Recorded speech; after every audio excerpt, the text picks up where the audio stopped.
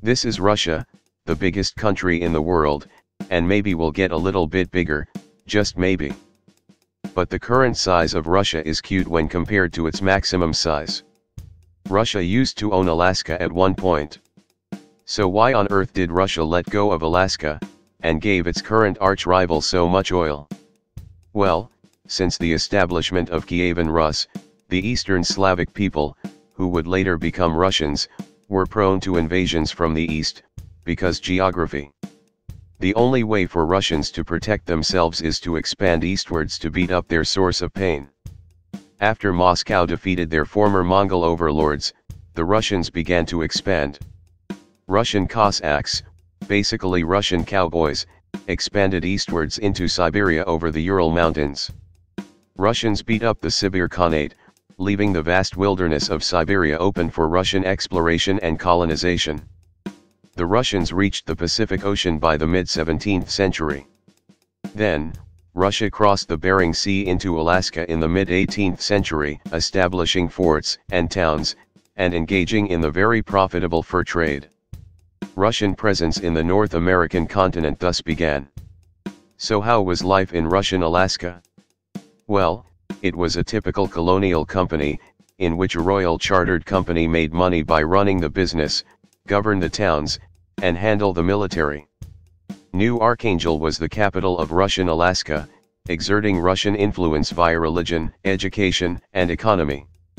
As per usual colonial arrangement, the Russians and Native Americans were in a love-hate relationship, working together to get furs, whilst getting into serious beefs occasionally. Due to Russian Alaska being too far away from the Russian heartland for supplies, some Russians decided to go south and explore California so to get better food supply for Alaska. Russia established Fort Ross in California, before selling it to a Swiss-American dude, because Russia knew that it could not defend Fort Ross against Mexico or United States. Russia also tried their hands in Hawaii, but got chased away. As such, Russian Alaska was all by itself, scrapping to survive. If that was not enough, the fur trade gradually diminished due to overhunting. The cost of maintaining Russian Alaska outweighs the profits. In addition, Alaska looked quite tasty for the ever-growing United States and British North America. Thus, it made perfect sense for Russia to sell Alaska. Russia pulled the trigger and sold Alaska to United States. Why United States? Because Russia still hated Britain for the Crimean War and the Great Game. Lucky for United States and unlucky for Russia, gold and later oil was discovered in Alaska.